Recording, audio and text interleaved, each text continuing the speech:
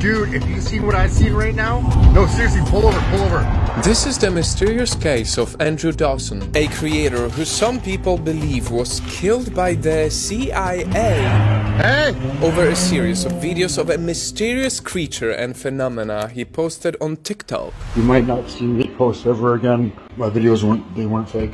Andrew's disappearance remains a mystery up until now, even though his death was announced last year. Were these videos real? Was the government hiding something and that's why Andrew had to be silent? Road's closed. Turn around. Really? Oh, that was up. These are the final hours before Andrew's mysterious disappearance. It all started on April 9th, 2022. Andrew was filming while he was inside a moving car with a friend, and he caught on camera what seemed to be a person, but it was too big to be a normal person. Andrew called it a giant. Person, dude. No, seriously, pull over, pull over. There's a person standing there. No, it's not. Dude, if you seen what I've seen right now, After only two days, this video got over 2 million views, with many people bashing Andrew saying it's fake. So two days later, he posted another video to explain do you see how far away it is? How far I have to zoom? Do you know how hard it is to keep a steady hand? If this video blows up or somebody buys me a friggin' helicopter to get all the way up there. From there, he made a commitment to investigate what it was. So the video is blowing up. A lot of you say I have Parkinson's, blah, blah, blah.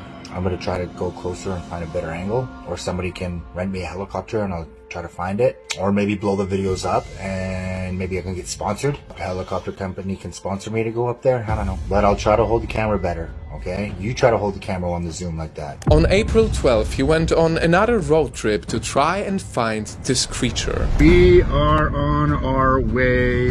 We're gonna go find somewhere closer. And I'm gonna set my camera on something so you guys aren't complaining how shaky it is in the truck.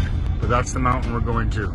But we're just gonna try to get closer. He always kept his curious followers updated. Okay, I'm gonna use this as a tripod to try to keep it steady for you guys. And it's not even there anymore, too. That's where it was yesterday. I spoke to some locals and it comes and goes apparently. I don't know. But things got weirder when someone tried to stop him. I just got stopped by like some CIA agent. He told me to turn around, said I'm trespassing. I said it's a, it's a public freaking, it's a public area. But he didn't give up because he got help from locals. Some local told me to take this path. I didn't get it on camera, but I'm gonna go again tomorrow and be prepared to be filming right now because he stopped the vehicle. His truck was blocking it. From that point on, he became even eager to find out what it was, not realizing that this was a risk. I don't get it. It was awkward, but I'm going back again tomorrow to see if he's not there. But if he is there, I will keep camera. I will film because the only angle I could get that I found today is the one I just posted earlier, and it, there wasn't even anything there. But I don't understand why the road's blocked off. So the next day, he woke up really early to try and spot the creature again. I woke up extra early today. We're actually we're gonna go on an adventure. It's currently 5.30 in the morning. I'm gonna see if he's there early in the morning and see if I can get up a little bit. That's the one. All right, let's go. He didn't see the creature he was looking for, but he did see something else. What the fuck is that? And more strange happenings in the area. So they're extracting something out of here. There's two helicopters. Until the person who stopped him before, whom he said was an agent, stopped him again this time. The guy's here again. What's going on? Road's closed. Turn around. Really? Yeah, man. Just, just turn around, please. Oh, okay. Oh, that was up. There it is. I'm driving past him again. Just turned around. Uh, I don't understand why it's closed off though. It's a public park or public road or whatever. And things got even weirder when on April 16th, a few days later, he realized that he was being followed by the same car that stopped him before. I think that's the same vehicle from. Hey! After this video, people who followed him got alarmed because they didn't hear from him for the next three weeks. May 6th. By this time, though, there was something different about Andrew, something suspicious. It wasn't a usual selfie video update. He was standing in front of a blank wall, and it kinda looked like someone was watching him from behind the camera. Hey guys, I just want to give you an update. I'm not dead. I have not disappeared. I have just been busy with life. I couldn't get around to posting and updating you guys. So now, now I'm gonna give you an official update of what's been going on. Sorry to disappoint you guys, but all of the videos that I post, all the videos that I posted were scripted. They're just fake. They were just strictly for entertainment. I sorry to disappoint you guys. I just need to give you a quick update. People took notice on how he looked scared. And then a true plot twist. 10 days later, he posted another video with the caption, Too much has happened and I cannot be forced to be silent. You might not see me post ever again. My videos weren't, they weren't fake. The next day, Andrew posted another update. A video of something he saw on the mountains again. What is that? That was not there yesterday.